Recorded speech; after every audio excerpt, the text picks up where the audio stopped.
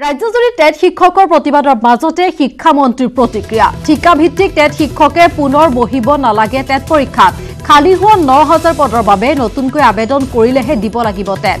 ঠিকাভিত্তিক শিক্ষকসকলৰ চাকৰি নিয়মীয়াকৰণ কৰা নহয় বুলি কোনেও কোৱা নাই। উৰা বাতৰি শুনিহে প্ৰতিবাদ মুখৰ হৈছে ঠিকাভিত্তিক টেট শিক্ষকসকল। আৰু এই মন্তব্য কৰিছে শিক্ষামন্ত্ৰীগৰাকীয়ে। ইয়াৰ পূৰ্বে শিক্ষামন্ত্ৰীৰ মন্তব্যক লৈ আমি বাতৰি সম্প্ৰচাৰিত কৰি আহিছো। কিদৰে আচলতে উত্তাল হৈ পৰিছে এইসকল শিক্ষক প্ৰতিবাদী কাৰ্যসূচী তেওঁলোকে হাতত লৈছে কাৰণ ড্ৰাইভাৰৰ লগত তুলনা কৰা হৈছিল তেওঁলোকক যাৰ বাবে সকলোৱে নিজৰ ফেচবুক একাউণ্টত নামৰ আগতে এই শব্দ ব্যৱহাৰ কৰিছিল। কিন্তু শেহতীয়াকৈ শিক্ষামন্ত্ৰীয়ে ব্যক্ত কৰিছে প্ৰতিক্ৰিয়া। তেওঁ জনাইছে যে টেট শিক্ষকে পুনৰ পৰীক্ষাত বহিব নালাগে। খালী হোৱা ন হাজাৰ পদৰ বাবে যদি নতুনকৈ আবেদন কৰে তেতিয়াহে দিব লাগিব টেট। আৰু ঠিকাভিত্তিক শিক্ষকসকলৰ চাকৰি নিয়মীয়াকৰণ কৰা নহয় বুলিও কোনেও কোৱা নাই। উৰা বাতৰি শুনিহে প্ৰতিবাদ মুখৰ হৈছে ঠিকাভিত্তিক টেট শিক্ষকসকল।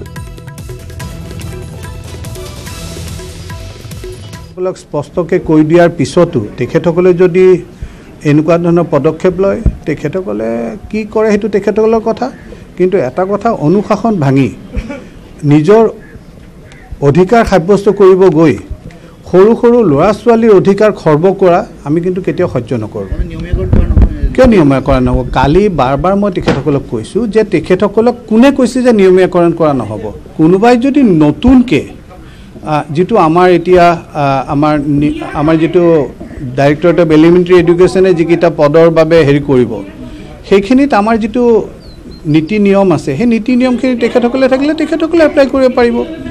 আজি এই গোটেই প্ৰশ্নটো আহি পৰিছে এইকাৰণেই যে দুহেজাৰ বাৰ চনৰ পৰা কোনো টেট পৰীক্ষা পতা হোৱা নাছিলে। সাত বছৰৰ ম্যাদ থাকে সাত বছৰৰ ম্যাদ উকলি গ'ল। এতিয়া সাত বছৰৰ ম্যাদ উকলি গ'লে যিসকল ইন ছাৰ্ভিচ তেখেতসকলেতো চাকৰি কৰিয়ে থাকিব। কিন্তু নতুনকৈ কোনোবাই যদি বেলেগ চাকৰিলৈ যাব খোজে তেতিয়াহ'লে যিহেতু তেখেতৰ সেই ম্যাদখন পাৰ হৈ গৈছে আইনগতভাৱে তেখেতসকলৰ তাত সেই চাৰ্টিফিকেটখন নাথাকিব।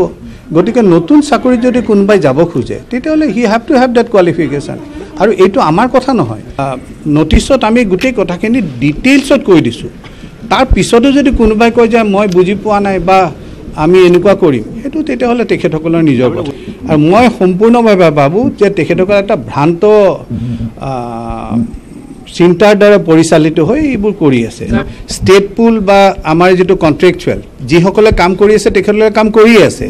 কিন্তু আমাৰ ডাইৰেক্টৰ অফ এলিমেণ্টেৰী এডুকেশ্যনে ৰেগুলাৰ পষ্টৰ কাৰণে যিটো এডভাৰটাইজমেণ্ট কৰিছে এই ন হেজাৰ পষ্ট যিটো আমাৰ হাইকোৰ্টত গৈছে তাত আমাক হাইকোৰ্টে ডাইৰেকশ্যন দিছে যে বাৰ চনৰ পিছত তেৰ চৈধ্য পোন্ধৰ ষোল্ল সোতৰ ওঠৰ ঊনৈছ এই সাতটা বছৰত অন্যান্য আমাৰ শিক্ষাৰ্থীওতো অৰ্হতা পাইছে।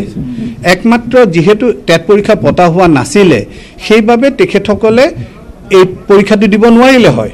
এতিয়া হাইকোৰ্টে কৈছে যে তেখেতসকলকো আমি এটা সুযোগ দিব লাগিব। সেইবাবে আমি ছেপ্টেম্বৰ মাহত নতুনকৈ টেট পাতিব গৈ আছোঁ।